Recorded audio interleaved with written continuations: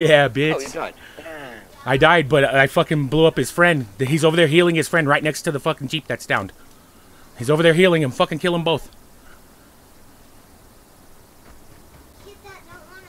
Right over there, yeah. Right over there. Yep, right there. He got back up, so...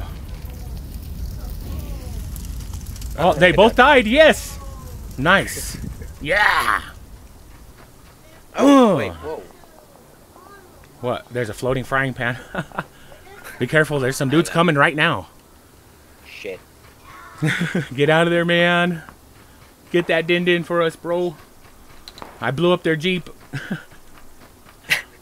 I got one of them. I hadn't downed him at least.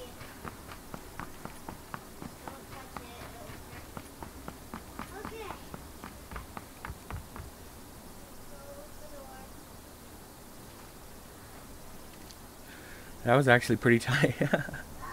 yeah. I'm gonna have to watch that footage again.